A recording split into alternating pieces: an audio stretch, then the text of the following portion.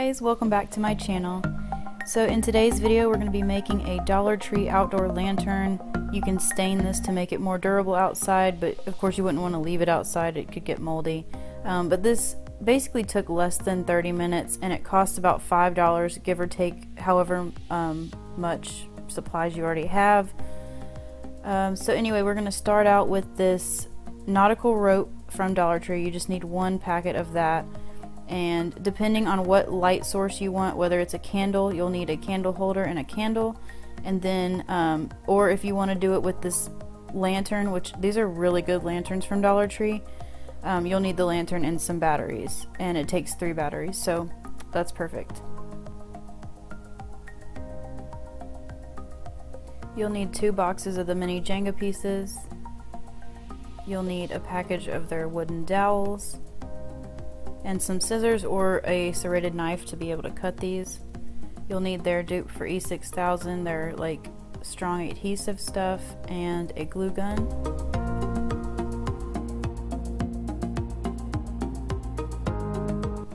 And you'll just want to start by going around the lantern, super simple in a sort of like hexagonal shape, I guess. Um, and just touch the corners together. And then once you've done that first row, you'll go behind and do a second row where you'll be putting them the opposite direction. You can see how I'm doing that here.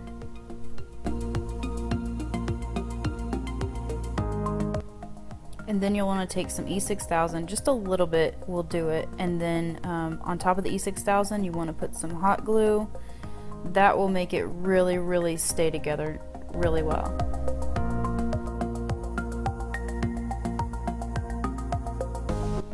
make sure when you're putting the glue on there you don't put too much of either the hot glue or the E6000 because that can really make it squish out the sides and that's just not a cute look at all.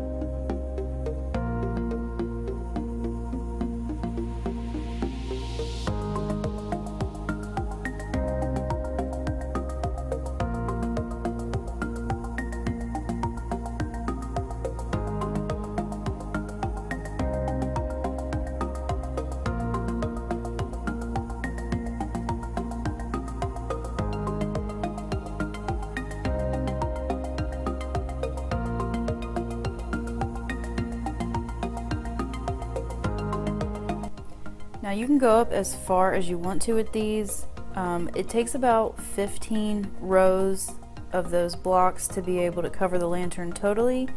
But if you're doing a candle, you can make it smaller or whatever your preference is.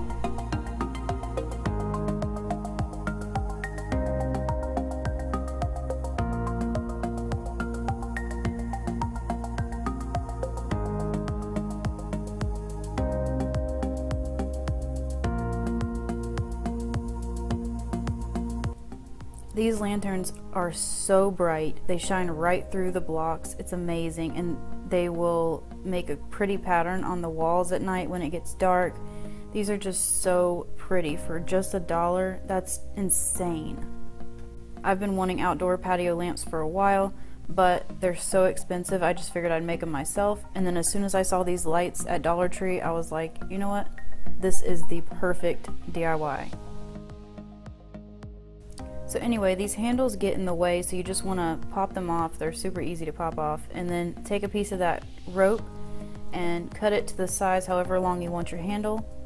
And then you just want to take a lighter and melt the ends and the frayed parts on the middle of it. Um, that really gives it a nice rustic, pretty look. So definitely, definitely make sure not to skip that step.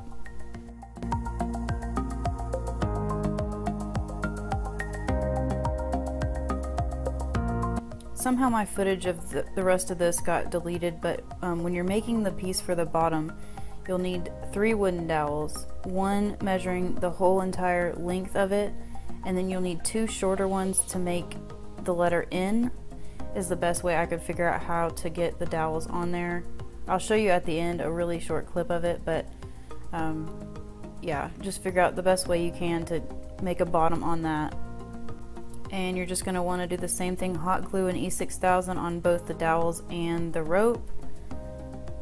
And let that sit and it makes such a pretty lantern. Look at this outside. I mean how bright and beautiful is that?